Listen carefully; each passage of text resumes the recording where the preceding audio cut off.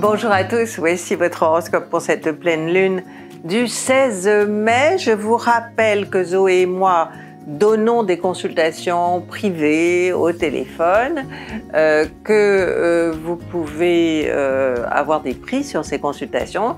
Si vous vous abonnez à notre chaîne, vous appuyez sur le bouton rejoindre. Vous avez des réseaux sociaux aussi, comme d'habitude, avec des petits posts quotidiens.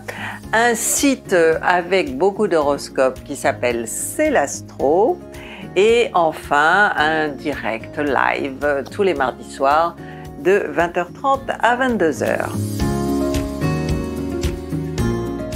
Taureau et ascendant taureau dans l'horoscope de cette euh, pleine lune, eh bien, elle est très compliquée. Hein. je ne vous le cache pas, on a du mal à l'interpréter. Donc, il y a d'un côté, évidemment, euh, le soleil en, taureau, hein, euh, opposé à la lune en scorpion, mais les deux sont au carré de Saturne, alors que d'un autre côté, il y a euh, une conjonction Mars-Neptune en poisson. Donc Mars-Neptune, si vous voulez, il n'y a pas de limite, hein. il, y a des, euh, il y a des actions euh, Bon, c'est dans votre secteur 11, euh, donc euh, bon, c'est pas euh, forcément quelque chose de négatif.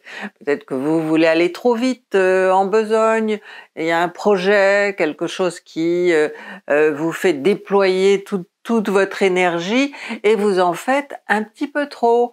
Donc euh, cette dissonance de Saturne sur le Soleil et sur la Lune, ça peut être positif parce que ça peut vous dire attention, sois un petit peu plus prudent, prends du recul, réfléchis avant de prendre des décisions. Parce que avec Mars Neptune, on peut prendre des décisions qui ne sont pas rationnelles. Hein. Or, vous êtes, vous, le taureau, quelqu'un de rationnel, donc ça vous plaira pas du tout si au bout de X temps, vous vous rendez compte que la décision que vous avez prise n'est pas euh, rationnelle. Donc euh, vraiment, euh, bon, je sais que c'est un petit peu difficile, hein, que la, conjoncture n'est pas très facile, mais bon, on, peut imaginer qu'il y a aussi, étant donné que le Soleil et la Lune sont en bon aspect avec Pluton, qu'il y a aussi quelque chose de réparateur, qu'il y a de la résilience dans l'air. Gémeaux et ascendant Gémeaux, dans l'horoscope de cette euh, pleine lune, nous avons d'un côté le Soleil à la fin du taureau, dans le troisième décan du taureau, et euh, la lune en scorpion, troisième décan du scorpion. Alors, euh, tout d'abord, c'est très compliqué parce qu'il y a des, très bons aspects et il y en a des très mauvais aussi. Donc, j'espère que je ne vais pas vous paraître trop embrouillé dans ce que je vais vous dire. le Soleil et la Lune, dans votre secteur 12 et 6, si vous voulez, vous êtes plus euh, spectateur euh, qu'acteur. Hein. Ça, c'est bon, plutôt une bonne chose. Hein. Mais bon, euh, les deux planètes, Soleil et Lune, enfin les deux luminaires, sont en dissonance avec Saturne. Donc il y a un frein. Il y a un frein quelque part, euh, probablement qu'il ne vous concerne pas directement puisque Saturne est en bon aspect avec vous. Euh, alors, est-ce que ce frein est positif ou est-ce que ce frein est négatif? Quand on voit qu'il y a une conjonction Mars-Neptune hein, qui peut euh, vraiment créer des débordements, hein, c'est vraiment quelque chose où il n'y a pas de limite, euh, où on ne sait pas où sont les frontières. Donc, si vous voulez, euh, on se disait avec Zoé que, eh bien, cette dissonance des deux luminaires avec Saturne pouvait être positive dans la mesure où elle met un frein à ces excès hein, représentés par Mars-Neptune. Alors, en plus de ça, euh, le Soleil et la Lune sont donc en, dissonance avec Saturne, mais en même temps, ils sont en bon aspect avec Pluton, la planète de la résilience, hein, euh, la planète des ressources. Donc euh, peut-être que quelque chose est en train de s'arranger, euh, d'évoluer euh, de manière positive, en dépit du fait que c'est du grand n'importe quoi ailleurs. Vous voyez ce que je veux dire? Je vous dis, il y a trop d'aspects, c'est vraiment difficile de, discriminer quel est celui qui va agir le plus, en tout cas pour vous. Cancer et ascendant cancer dans l'horoscope de cette euh, pleine lune. Le soleil est toujours en taureau, hein, mais dans le troisième décan, euh, opposé à la lune dans le troisième décan euh, du scorpion. Alors ça irait très très bien pour vous si les deux planètes, les deux luminaires, n'étaient pas en dissonance avec Saturne. Alors ils sont en dissonance avec Saturne, mais en même temps en bon aspect avec Pluton. Et c'est là où ça se complique. Parce que en dissonance avec Saturne, on se dit que euh, il y a un frein, qu'il y a quelque chose qui, peut être attristant ou difficile. Et puis d'un autre côté, avec Pluton, on se dit, mais euh, bon, c'est en train de s'arranger, il y a une résilience, il y a quelque chose. Par ailleurs, hein, ça se complique encore plus, il y a une conjonction Mars-Neptune et c'est pas un aspect qui a très bonne réputation. Euh, il y a, euh, comment dire, des débordements. Hein, alors peut-être euh, des personnes qui manifestent, hein, euh, c'est possible, et qu'il y ait des débordements dans ces manifestations. Euh, si vous voulez, pour, pour vous, bon, cette conjonction Mars-Neptune, elle est plutôt en bon aspect, donc vous n'allez pas avoir à, en souffrir, mais bah, vous allez de toute façon l'avoir sous les yeux d'une manière ou d'une autre. Hein. Donc, bon, c'est vrai que je reviens à ce que je disais, que la dissonance de Saturne peut euh, sauver un petit peu la situation parce qu'elle va gêner. Hein. Euh, euh, Saturne représente la loi, la morale et tous les freins qui sont mis à nos instincts les plus, hein, les plus fous. Or, avec Mars-Neptune, bah, il peut y avoir un petit peu de folie dans l'air. Lion et ascendant Lion dans l'horoscope de cette pleine lune, vous n'êtes pas très gâtés, hein. mais bon, on va essayer de positiver. Euh, le soleil en taureau s'oppose à la lune en scorpion, troisième décan, et tout ça est au carré, c'est-à-dire en dissonance avec Saturne qui elle-même s'oppose à vous. Donc si vous voulez, il y a euh, franchement, euh, vous êtes freiné dans votre évolution. Hein, et il y a euh, soit parce que vous vous dites j'ai pas le droit de faire ceci, de faire cela, donc c'est vous qui vous freinez, soit c'est le monde extérieur, c'est quelqu'un qui vous dit non, tu ne peux pas, hein, non, je ne veux pas, non, je ne reste pas si c'est votre conjoint qui veut s'en aller. Enfin bref, vous voyez, on vous dit non. Cependant, cette, euh, les deux luminaires, euh, donc en, carré avec euh, Saturne, sont également en bon aspect avec Pluton. Donc il y a la possibilité d'arranger les choses. Hein. Je dis bien la possibilité parce qu'il y a un autre aspect qui nous dit que franchement, bon, ça va pas. Il y a une rencontre entre Mars et Neptune. Et euh, bon, alors Mars c'est l'action et Neptune c'est le flou. Donc il y a des actions, des décisions qui sont prises qui ne vont pas du tout euh, dans le sens de du rationnel. Le Taureau euh, demande hein, à être rationnel. C'est le signe, un des signes les plus rationnels du zodiaque. Et le fait qu'il y ait cette conjonction Mars-Neptune, bon, elle est en Poisson, d'accord. Mais bon elle indique qu'il y a une crise, hein, parce que c'est un secteur de crise pour vous, et que euh, bon bah soit on ne sait pas du tout comment la régler, euh, soit elle déborde, hein, elle déborde sacrément.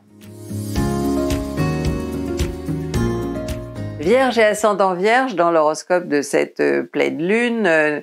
Nous avons d'un côté le soleil en taureau, euh, donc en bon aspect avec vous, la lune en scorpion en bon aspect avec vous, le problème étant que les deux astres sont en dissonance avec Saturne, hein, qui est euh, en verso. Donc, euh, tout ce que vous vous promettez comme plaisir, comme contact avec les autres, comme déplacement, comme euh, conversation, échange, etc., va être freiné euh, par Saturne. Ou alors, vous allez devoir euh, exprimer des choses ou tristes ou difficiles à vivre. Alors heureusement, il y a cette dissonance avec Saturne, mais en même temps, les deux luminaires sont en bon aspect aussi avec Pluton. Hein, qui est maître de la Lune, euh, la Lune qui s'oppose donc au Soleil en, Scorpion. Euh, on peut se demander si l'épreuve représentée par Saturne ne va pas être finalement, comment dire, enterré d'une certaine manière, hein, et s'il ne va pas y avoir euh, résilience, vous voyez, réparation. Euh, alors ça, c'est une possibilité, mais on a un autre aspect qui est un petit peu inquiétant. Euh, c'est une, conjonction entre Mars et Neptune. Mars et Neptune étant face à vous, hein, troisième décan. Donc euh, vous êtes face à des personnes euh, qui prennent des décisions irrationnelles, selon vous. Et heureusement que Saturne est là hein, pour mettre un petit peu d'ordre dans tout ça. Balance et ascendant balance dans l'horoscope de cette pleine lune. Donc nous avons le Soleil en taureau hein, euh, d'un côté et la Lune en scorpion de l'autre. Euh, les deux luminaires s'opposent et sont en dissonance avec Saturne. Alors c'est un petit peu ennuyeux parce que ça vous freine dans votre élan. Euh, si vous êtes par exemple... c'est des questions d'argent. Hein. Le, taureau et le scorpion sont des secteurs financiers pour vous. Donc il y a un manque probablement avec Saturne, vous allez manquer d'argent pour quelque chose, euh, avoir euh, très probablement euh, l'obligation d'en demander. Et ma foi, avec en, même temps qu'il y a cette dissonance avec Saturne, les deux luminaires sont en bon aspect avec Pluton, la planète de la réparation. Donc il est très possible que ce que vous demandez, donc apparemment de l'argent, eh bien euh, qu'après une période difficile où vous n'avez pas pu obtenir ce que vous vouliez, avec Pluton, eh bien il y a euh, résilience, il y a réparation, c'est-à-dire que finalement l'argent arrive, peut-être au dernier moment, mais il arrive.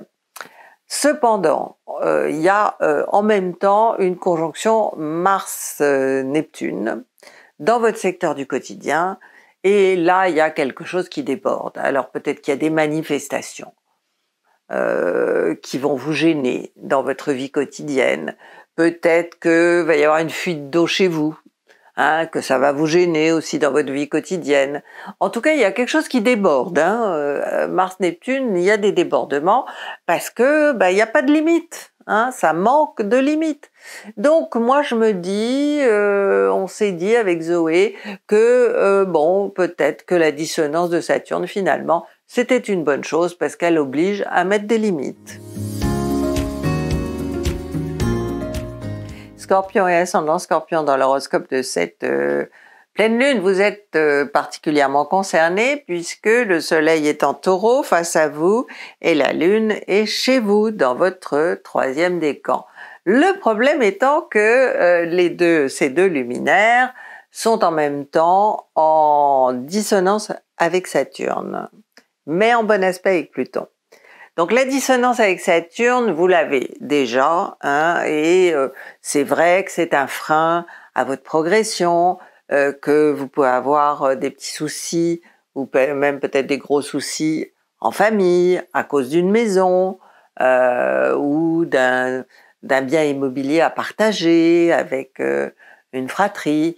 Enfin bref, vous êtes soucieux avec cette conjonction, enfin avec cette dissonance de, Saturne.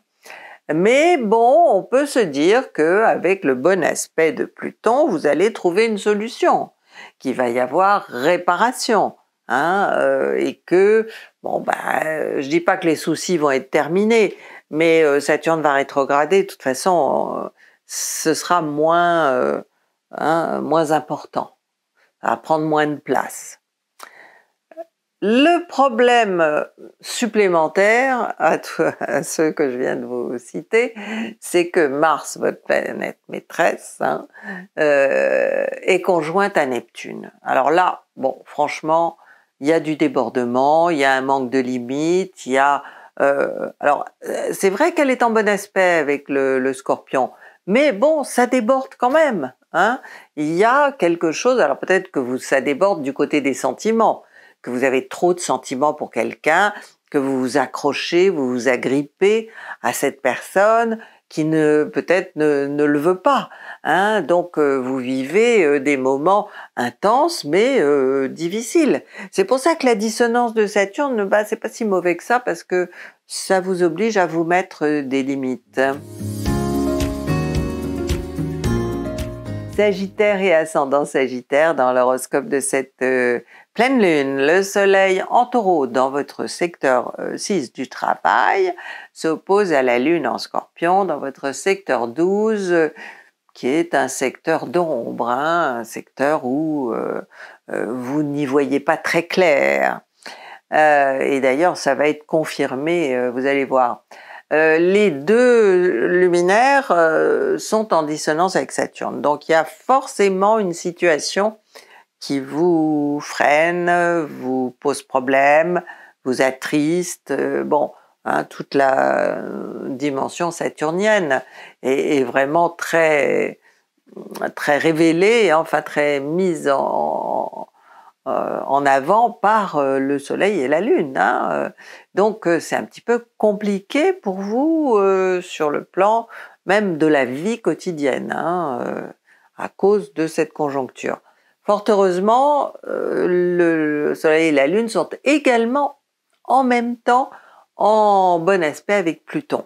Donc il est possible que euh, les choses soient en train de s'arranger, euh, qu'il y ait un espoir que quelque chose, euh, que ça s'arrange et que, bon, connaissant votre optimisme naturel, eh bien vous allez hein, vous accrocher à cette possibilité d'évolution. Le problème étant qu'il y a en même temps encore une fois, une conjonction Mars-Neptune en poisson en dissonance avec votre troisième décan et que là, on, assiste à des débordements. Il y a quelque chose en trop. Ou alors vous prenez des mauvaises décisions, influencées par quelqu'un. Ou alors euh, il peut y avoir aussi des fuites d'eau dans votre maison, des problèmes familiaux, où quelqu'un se conduit mal, ou est dans une dépendance. Euh, voyez, tout ça étant euh, bon excessif. Heureusement, finalement, qu'il y a euh, cette dissonance de Saturne qui vous met des freins.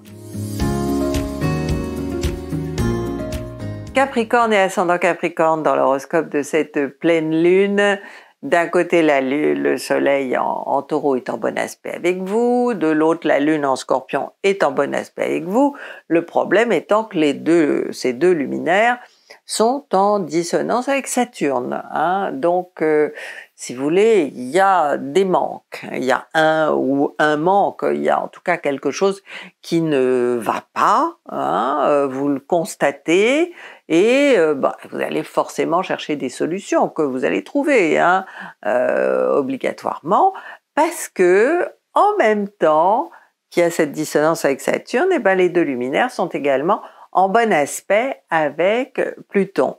Et Pluton, elle est chez vous.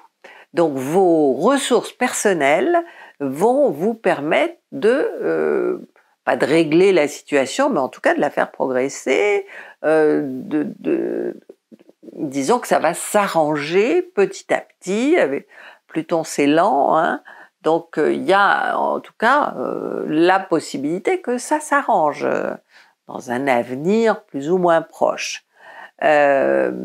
Toutefois, il y a également un troisième aspect qui va être un petit peu difficile, c'est une conjonction Mars-Neptune. Alors c'est vrai qu'elle a très mauvaise réputation parce qu'on ne peut rien faire de, très rationnel hein, sous cette conjoncture. Elle est, euh, la, euh, Mars et Neptune sont en bon aspect avec vous, hein, mais quoi que vous fassiez, quelles que soient les décisions que vous prendrez, eh bien, euh, vous douterez, vous vous demanderez si ce sont des bonnes décisions. Hein, euh, et vraiment, là, vous allez être dans l'excès, hein, l'excès déborde, ça va déborder. Alors, est-ce que c'est de l'eau hein? Est-ce que vous allez avoir un problème d'inondation chez vous? Ou est-ce que vous allez déborder de, de doutes et d'incertitudes par rapport à une décision que vous devez prendre?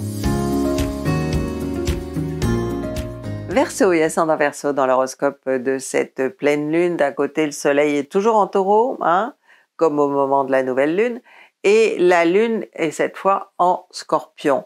Euh, les deux étant en dissonance avec Saturne qui se trouve chez vous, dans votre troisième décan.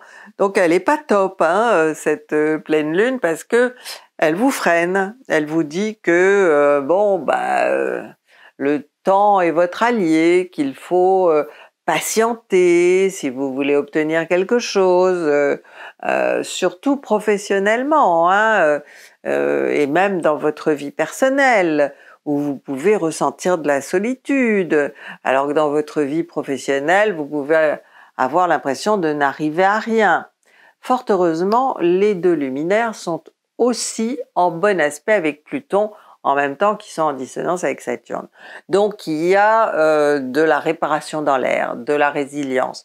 Peut-être que vous avez trouvé autre chose. Euh, ou que on, vous enlève quelque chose pour vous donner euh, autre chose. En tout cas, vous n'êtes pas complètement perdant dans, cette affaire. En revanche, il y a un troisième aspect qui, qui, est très compliqué. Il y a une rencontre entre Mars et Neptune dans votre secteur financier. Alors, bon, euh, soit l'argent coule à flot, ce qui m'étonnerait, hein, soit euh, au contraire, euh, vous avez trop dépensé. Mais alors vraiment, hein, vous avez fait des folies et vous n'avez pas du tout été rationnel parce que bon, c'était peut-être pas le moment. Hein. Cela dit, ça peut ne pas vous concerner directement. Hein.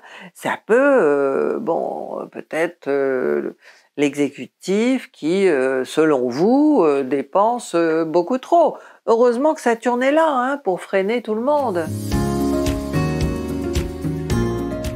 Poisson et ascendant poisson dans l'horoscope de cette pleine lune. le soleil en taureau d'un côté, dans le troisième décan, et la lune de l'autre en scorpion dans le troisième décan, sont en bon aspect avec vous mais ils sont en dissonance avec Saturne. Donc, euh, disons que le, contexte, hein, parce que ce n'est pas vous, le contexte est un petit peu difficile, euh, vous, en, vous gêne d'une certaine manière ou vous procure de la peur. Hein. Avec Saturne, on a peur en général. Euh, et fort heureusement, ce n'est pas le seul aspect. Hein. Euh, en effet, le Soleil et la Lune vont être en même temps qu'ils sont en dissonance avec Saturne, en bon aspect avec Pluton. Et Pluton, vous le savez, c'est une planète de résilience. Elle permet de réparer, elle permet de euh, retrouver euh, quelque chose qu'on n'avait plus. Alors peut-être que on peut avoir l'espoir, hein, avec cette configuration, de voir revenir le calme, hein, parce que le taureau, c'est ça qu'il recherche, le calme et la tranquillité, son confort, son bien-être. Peut-être que ça va revenir, euh, hein, c'est en tout cas euh, ce que suggèrent euh, ces bons aspects avec Pluton. Mais il y a aussi une conjonction entre Mars et Neptune, quelque chose qui fait déborder. Alors peut-être que vous allez déborder d'émotions, hein, c'est possible, mais bon, il peut y avoir d'autres euh, débordements. Hein. C'est vraiment euh, bon, euh, ça se passe dans votre secteur 3, ça peut être dans votre environnement immédiat qu'il y a des débordements, soit chez les voisins, soit, je sais pas, il y a un fleuve près de chez vous qui va déborder, ou alors, bon, autre chose. Heureusement que Saturne est là parce que elle, va mettre des limites un petit peu. Bélier et ascendant Bélier, dans l'horoscope de cette pleine lune, nous avons toujours un soleil en taureau, troisième décan, et évidemment la Lune euh, opposée en scorpion, ce qui ne serait pas un problème, hein, euh, ce sont vos secteurs euh, financiers, de confort, de bien-être, etc. ce qui donc ne serait pas un problème si ces deux luminaires n'étaient pas en dissonance avec euh, Saturne. Donc il y a forcément, vous êtes obligé de vous freiner, vous êtes obligé de vous réfréner, de s'il est question d'argent, de moins dépenser ou euh, euh, d'avoir du mal à finir le mois ou vous voyez vraiment c'est un problème. Hein, avec Saturne, il y a toujours une notion un petit peu de manque ou de peur de manquer. Hein, ça peut ne pas être rationnel aussi. Heureusement, les deux luminaires sont en même temps en bon aspect avec Pluton. Hein. Dissonance Saturne, mais euh, harmonie avec Pluton. Et Pluton, c'est la résilience, c'est euh, comment dire, euh, les choses s'arrangent, on redémarre, peut-être de zéro, mais on redémarre. Donc, si vous voulez, il y a l'espoir que à un moment ou à un autre, on va euh, reprendre euh, hein, sa route et que euh, bon, les choses vont s'arranger. Cependant, on assiste aussi, troisième aspect, à une conjonction entre Mars, votre planète maîtresse, et Neptune. Et là, pour le coup, pour le coup, il y a de vrais débordements. Hein. Il, y a, du trop plein.